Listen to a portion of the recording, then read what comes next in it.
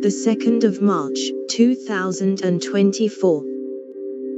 Biden says US will begin aid airdrops in Gaza. The president said that the United States would work with Jordan and other allies to deliver aid by air and that supplies could eventually be delivered by sea.